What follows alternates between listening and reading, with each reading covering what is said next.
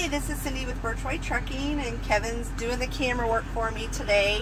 Uh, touchy subject, a lot of people don't like to talk about it, kind of embarrassing, but just want to let you know that um, I'm getting ready to use the bathroom internally because there's a long walk to the gas station or the fuel station.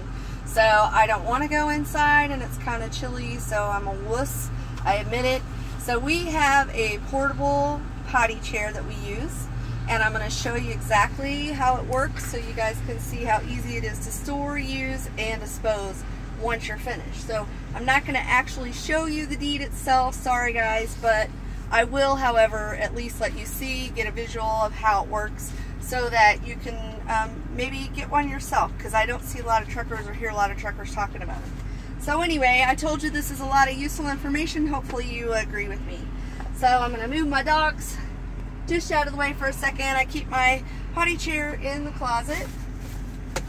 And this is the potty chair. It's just a little stand with a seat on it. Some of you probably already have one, but a lot of you, I'm sure, are using those silly little go thingies that are at the I-80 store. No, they're using buckets. yeah, I don't know. So anyway, we just sit this like this. It's real easy to use. Took me two seconds to put it up. And then I use Hefty because it's got this uh, nice blackout. There's two of them, so it doesn't matter if I go number one, number two, nobody sees what I do. And it also is odorless. So um, Kevin will tell you it's not odorless, so sorry guys, but it does cut down on a lot of odor. So, and once you're finished, the bag is disposable too. So it works really well. So anyway, um, there is a ring that comes with it. Um, that you actually put this around the ring and then slide it in and the ring snaps into here. However, I find it's easier and more sanitary for us when we take the bag and just simply slide it over the top like this. And I just fold this down and make sure I have it all the way to the bottom. And voila. Kevin, will you get a picture inside of our potty chair, please? There you go. Not much to it. And then I keep my toilet paper close by so I can use it. And then again, when I'm finished, I just pull this out.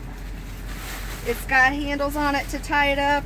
Or what I do is I just do this and tie it in a knot and I'll throw it in the trash bag and it goes outside in the dumpster. So if you um, like my idea or want to know where I got my potty chair, I'd be happy to tell you guys and share that with you. So please just, again, Burchway Trucking on Twitter, give me a tweet and I'll give you the information if you'd like. Or my YouTube videos that I post allow you to make comments as well. So hope this was helpful to you.